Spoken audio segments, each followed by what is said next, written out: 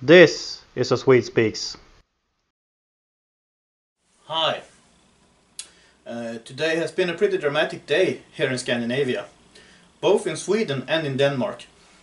So let's get right to that. Uh, in Vårbygård, south of Stockholm, there was an explosion at the metro station. And uh, two persons were wounded by the explosion. Uh, and uh, they were both brought, brought to hospital. And one of them, uh, there was one woman and one man. The woman was 45 and the man was about 60 years old. And the man later died from his wounds. Uh, what the police thinks happened is that uh, the man picked up a hand grenade that was lying visibly at the metro station.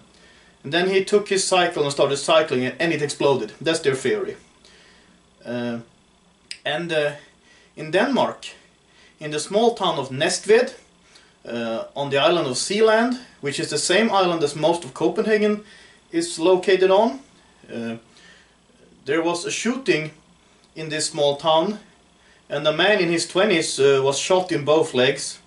Uh, this man is uh, earlier known to the police according to well the article I read and so far the police don't know why or who did this but the man is his life is not at risk according to to the, to the article. Uh, but this is an interesting fact. One interesting I mean, it's terrible, but it's interesting because the Scandinavian countries are considered to be among, or have historically, I mean, in recent history, they have been considered to be among the safest countries in the world, and nothing bad happens around here.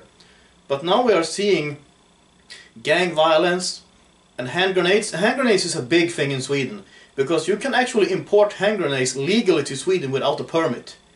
And that's really absurd, but that's the way it is. At the same time, as uh, as law-abiding citizens are not allowed to arm themselves. So that's crazy. And I'm not sure about Danish gun laws, but I think they're prob they are probably like the Swedish ones, but I don't know that. So don't quote me on that one. But anyway, these are some of the things that happened. Just both of these things happened today. Uh, the episode uh, in Stockholm or in Vårby Gård was around 11 a.m. and the, the, episode in Denmark, uh, well, it was reported to the police at 1.30 p.m., something like that.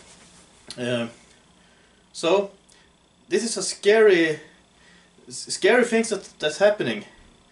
Uh, and I really hope that uh, that both the Danes and the Swedes uh, will do any, everything they can to to stop this this development because this is not the, the way things are supposed to be in Scandinavia or anywhere for that matter.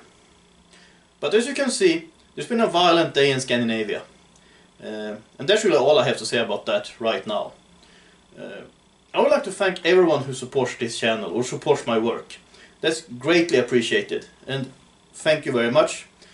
It is now this channel's second year, or well, on on January 17 I will uh, this channel will be one years old or one year old but you could argue that I'm now in my second year doing videos since it's a new year. Uh, so so that's interesting. So let's see what will happen this year.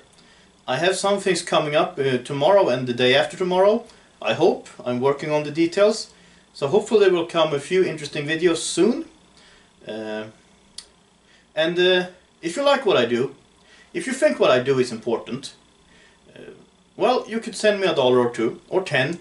As I said, that's greatly appreciated. Uh, so, until next time, have a nice day.